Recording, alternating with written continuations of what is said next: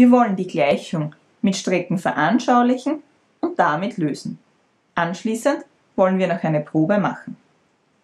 Wir stellen uns vor, dass alle Zahlen und Variablen Länge von Strecken in Zentimetern sind. Wir zeichnen deshalb 3 mal x als 3 mal eine x Zentimeter lange Strecke. Wir zeichnen sie gleich nebeneinander. 1 mal x, 2 mal x, 3 mal x. Wir haben jetzt hier also die Strecke x, die Strecke x und die Strecke x, also 3 mal x.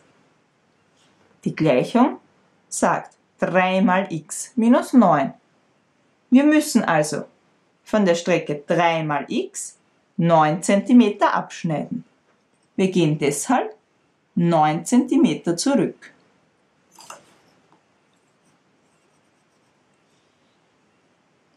Übrig bleibt diese Streckenlänge und laut unserer Gleichung ist es eine Strecke mit einer Länge von 45 cm.